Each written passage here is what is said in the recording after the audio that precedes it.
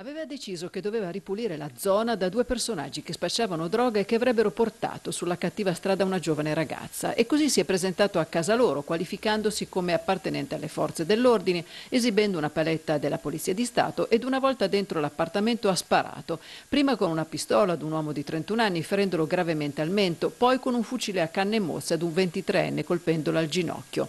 Quest'ultimo ha tentato la fuga ma veniva raggiunto in strada sul marciapiede e qui più volte pugnalato al collo con con una sorta di roncola.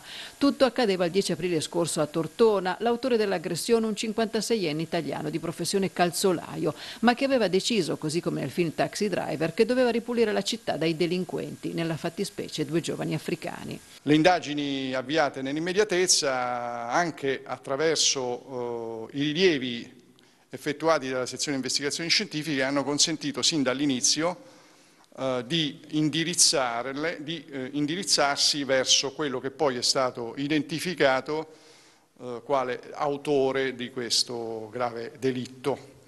Grazie anche alle segnalazioni dei cittadini che sono sempre fondamentali in tutte le circostanze che eh, appunto ci hanno sin dalle prime fasi delle indagini indirizzato. In merito proprio all'aspetto puramente investigativo ha già su, più o meno sulla dinamica ha già eh, riferito il, il, generale. Posso dire una cosa comunque, che eh, la, la, difficoltà dell'indagine, come tante, come tante volte anche altre indagini, è quella quando non si riesce a individuare il cioè quando il soggetto, l'autore diciamo, del, del fatto è fuori il circuito relazionale delle vittime. Quello è molto importante perché noi di solito le, tutte le indagini sono di fatti gravi partiamo sempre ovviamente studiando il circuito relazionale, cioè il vissuto della vittima, le frequentazioni. In questo caso abbiamo avuto questa difficoltà. A risolvere la vicenda i carabinieri del nucleo investigativo di Alessandria con il supporto dei colleghi tortonesi. Erano stati i colpi d'arma da fuoco e le urla delle due vittime a richiamare l'attenzione dei cittadini che avevano chiamato le forze dell'ordine che giunte sul posto si erano trovate con due persone gravemente ferite che poi sono state ricoverate agli ospedali di Tortona in prognosi riservata. Uno dei due, quello colpito con il fucile a canne mozze, ha perso una gamba.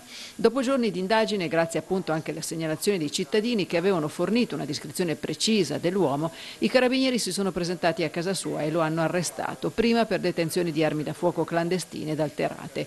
Lui non ha opposto resistenza perché ha detto lucidamente ai militari che si erano presentati alla sua porta non voleva coinvolgere la persona con la quale si trovava in casa. Se fosse stato solo, ha ribadito, avrei sparato. Arrestato, l'uomo ora si trova in carcere in attesa di giudizio. L'attività parallela ha permesso di ritrovare nell'appartamento delle due vittime anche della droga e così il 23enne della Guinea è anche accusato del reato di spaccio, un'attività che gestiva da circa un anno nel Tortonese.